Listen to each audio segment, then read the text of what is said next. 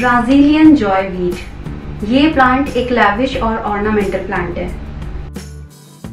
ब्राजीलियना Joy wheat plant के बहुत सारे नाम हैं, जैसे Alternanthera brasiliana ruby leaf parrot leaf और नेथ्रा ये प्लांट एक फ्लावरिंग प्लांट है, इसमें वाइट कलर के फ्लावर्स निकलते हैं। ये बेसिकली एमरेंथ फैमिली से बिलोंग करता है।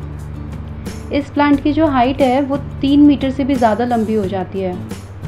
इस प्लांट की जो स्टेम आप देख रहे हैं, इसके कलर की जो रेंज है, वो रेड ग्रीन पर्पल में आपको आराम से दिख जाएँगी। जो इस प्लांट की जुवेनाइल लीव्स होती हैं, वो एडल्ट लीव से ज़्यादा ब्यूटीफुल लगती हैं। इस प्लांट को आप शेडी एरिया में रखेंगे तो भी ये ईज़िली ग्रो हो जाएगा। और आप डायरेक्ट सनलाइट में रखते हैं तो इसके पत्ते जल जाएँगे। अगर विंटर्स की बात करें तो विंटर्स में आप इसको डायरेक्ट सनलाइट में रख सकते हैं। आपको ये किसी भी नर्सरी में इजीली मिल जाएगा।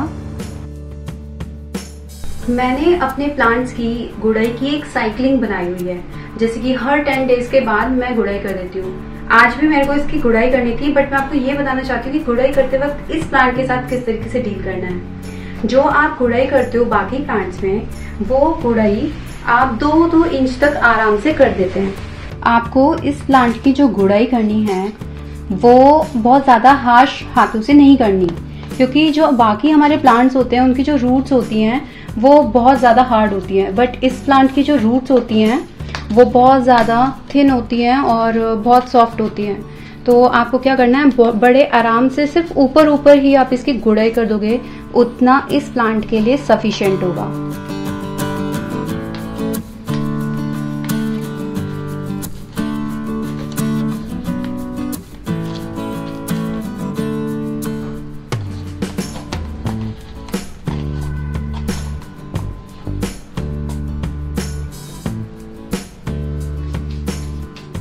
कई बार हम क्या करते हैं, जो हमारे प्लांट्स की ड्राई लीव्स होती हैं या जैसे इस तरीके से आपको ये दिखाई दे रहा है, ये टूटा हुआ तो हम क्या करते हैं, कई बार हम हाथ से तोड़ देते हैं। तो आपको हाथ से नहीं तोड़ना तो आपको क्या करना है सीजर का यूज़ करना है।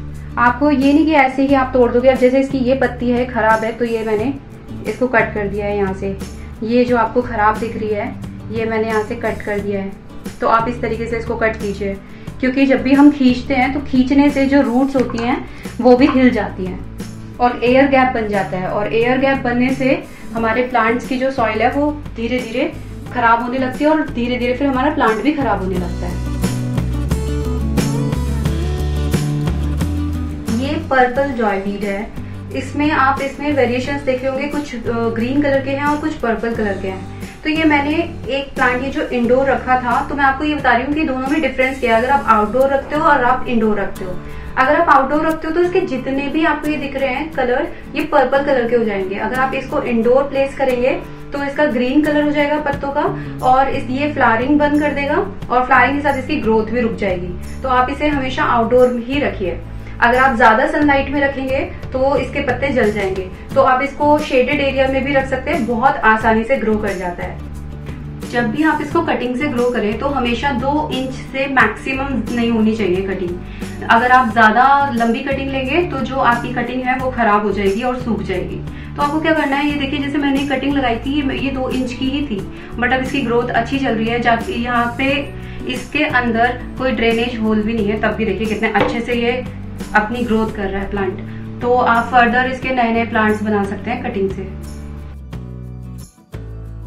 आपको ये मेरा वीडियो कैसा लगा ज़रूर बताइएगा. शेयर और सब्सक्राइब करना ना भूलिए. Thanks for watching my video